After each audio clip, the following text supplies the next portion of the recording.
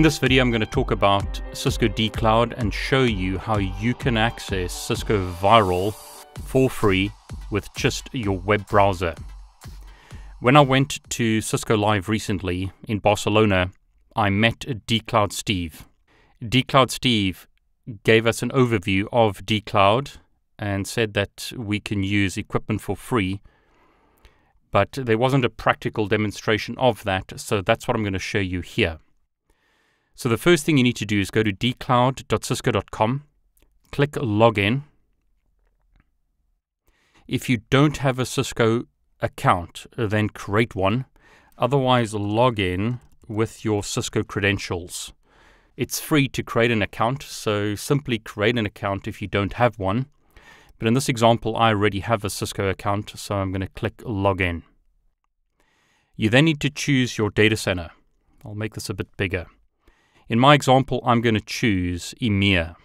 But as you can see, there's APJ, so Asia, which is currently offline, and various other data centers that you can use, including data centers in the US. I'm going to click EMEA, but I'm not going to save my preference I'm based in the UK, so it makes sense for me to use an EMEA data center. Now, at the moment, no sessions have been scheduled. I'm going to click Find Content, and I'm simply going to search for 7000. And notice this lab, charming the Python on Cisco Nexus 7000 switch v1. There's also another lab, which is an introduction to NXOS. But I'm going to choose the first lab, charming the Python on Cisco Nexus. I'm going to schedule the lab. Now, the important thing to note is even though this is a lab about Python, I'm not going to use it for Python. I'm going to use this lab for CCNA and CCNP labs. Notice I can specify how long I want the lab for. I'm going to specify a date and time and click Next. Primary use case, I'm going to select this as training. Revenue impact is not applicable. I'm going to click schedule. So notice it's scheduled, but what I'm going to do here is this is scheduled in a few minutes. I'm going to click edit and schedule it from right now and click update. So at the moment it's 1736 here in the UK. I'm going to schedule the lab to basically start in the next minute. Okay, so I'm going to refresh the page. As you can see, it's currently scheduled. Time has just gone 1737. So I'm not going to bore you waiting for sessions to start. But basically, if you refresh this page, you'll see that the status will change. Notice here it says starting, so session has been started. Now you will get an email about the session, so you can check your email for details about the session. I'm simply getting the session to start immediately. I just need to wait now for it to become available. But while we're waiting for that, notice that dCloud has many labs available. So you can look at dCloud labs, you can look at DevNet labs, you can look at proposal expert services. So, in other words, you can filter the labs based on various products. So, I'm going to look at dCloud and DevNet labs. Notice once again, many, many labs are available here. You don't have to do it this way. You could search the catalog for VIRL. Now, depending on your login, you may have VIRL labs displayed. Notice that different labs are available. You may have some labs available when you search for VIRL, such as the Nexus lab that I'm booking at the moment and some others, but you may have no labs displayed. So it really depends on your privilege levels. So your privilege levels determine which labs you can access. So back on my hub, notice the lab is still starting. I'm going to click download details to see details of this lab. This is a CSV file that opens up. You'll be able to view information about your lab. It doesn't really show too much here except the starting and stop date, which are important. But hopefully, this lab will become available soon. You do get an email once again when the lab is available. You, so you don't have to wait for this to change status. You could wait for the email from dcloud. Okay, so notice now when I refresh the page, the lab is now available. I can click View to view my lab. And notice here are the details of the lab. What's important to note is I haven't installed any software. I'm simply using a browser here. In this example, I'm using Google Chrome. I haven't installed any additional software. But notice when I click the workstation, I can click Remote Desktop and a new browser tab is opened up and I'm automatically logged in to dcloud. This is using very similar software to what Live Labs is using. I'm going to start a VM Maestro. This is the interface to Cisco VIRL. So notice all I did was schedule a session and then click on the workstation, click Remote Desktop. The credentials are shown here, but I didn't have to put them in. I was automatically logged in to this Windows PC. This is a Windows 7 computer but it's running within my web browser. Live Labs, once again, does something very similar to this. Now, they do have some equipment here that you could use if you wanted to, but I'm going to simply delete these devices because I don't want to use their devices in my topology. What I'm going to do is go to Design, and I'm simply going to add some Cisco IOS devices to the topology. So I'm going to click on IOS V, and then click in the topology to add the device.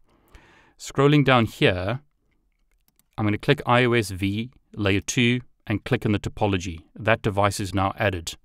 Then I'm going to click connect and I'm going to connect the router to the switch. Connect this router to the switch.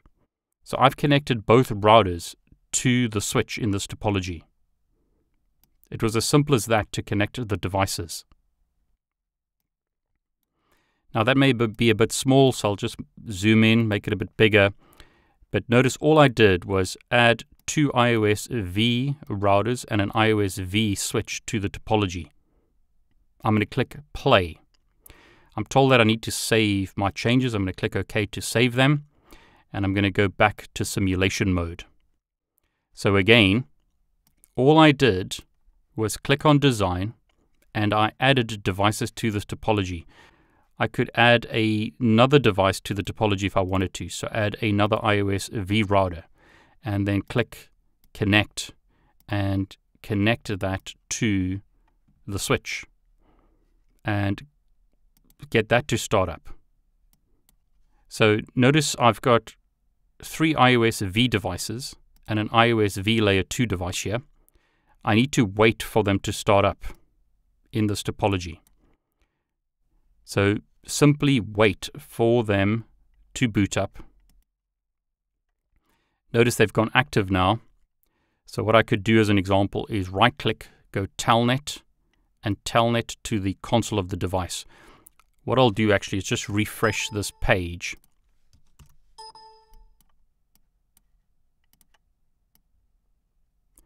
to make it clearer. So all I did is refresh the browser. So that's a lot clearer than it was. I'm going to right click, select Telnet, and and click console. So I'm going to connect to the console of the device. Could do the same with IOS v2, Telnet to the console. I'll do the same with the switch and then I'll connect to the third IOS V router. So I've now connected to multiple devices. Notice I get a prompt. Would I like to enter the initial configuration dialog? I'm going to say no for the routers. So here's the switch actually. Switch is booted. Here's my second router. So I've got the first router. And what I could do is change the settings in PuTTY.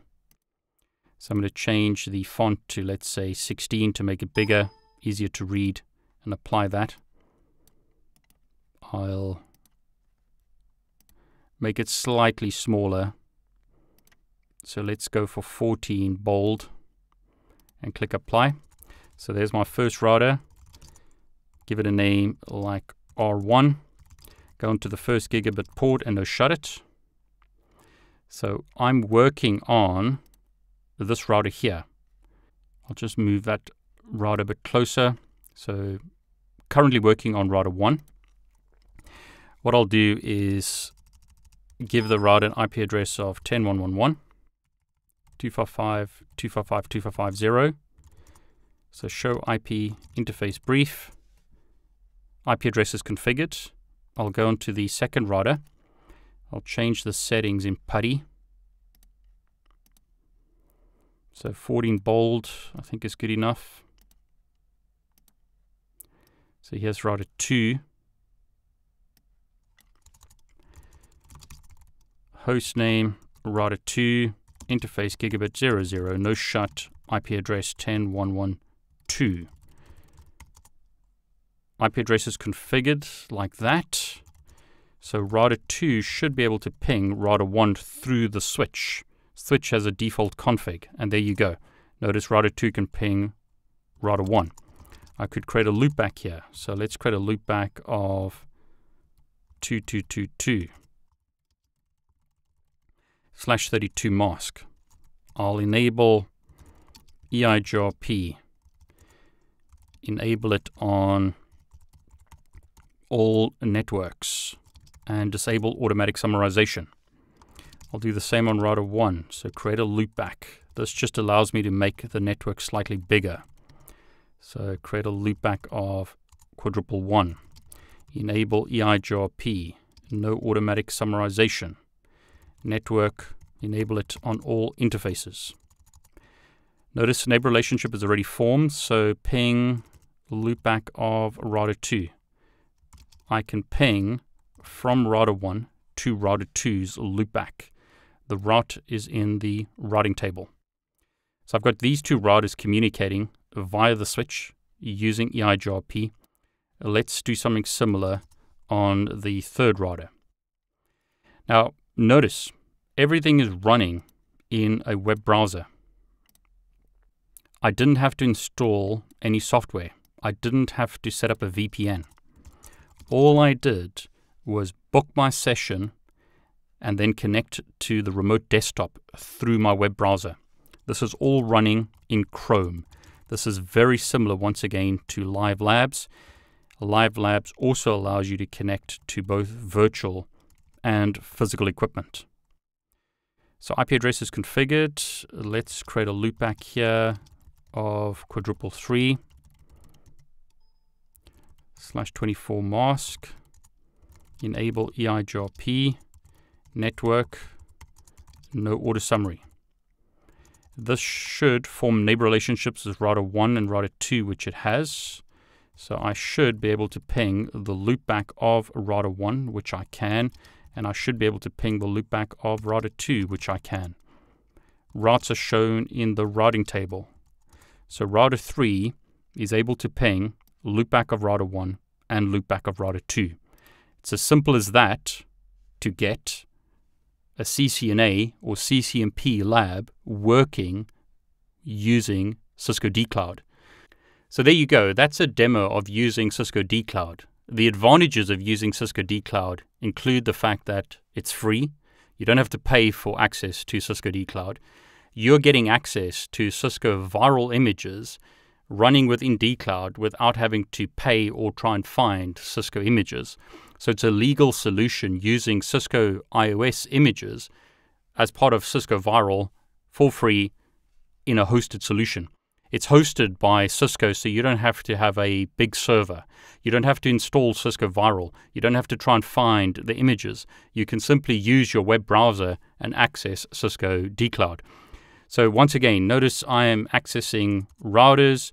I have access to a switch, various devices running within Cisco dCloud, available for free. So a great resource.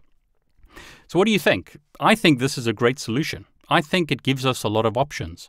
Rather than having to install Cisco VIRL locally, you can simply use a free solution in the cloud. You don't have to pay anything for this, you simply schedule access to Cisco dCloud. Now, that said, you have to schedule access. So, access to a lab depends on when it's available. It might not always be available.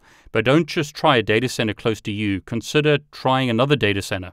So, as an example, I chose EMEA here, but I could have tried a data center in the US and perhaps got access to more devices, or it may have been available for longer. The availability of equipment and the labs that are available to you will often depend on the credentials you have from Cisco. But in this example, I used an account that's not a Cisco partner account. I simply registered an account on Cisco, and that's how I accessed Cisco dCloud. So, in other words, it's just a standard guest account, no extra privileges, but I was able to access these labs. So, hopefully, when you try this, you'll be able to access the same labs as I have. Now, if you've enjoyed this video and you found it useful, please like it and please consider subscribing to my YouTube channel.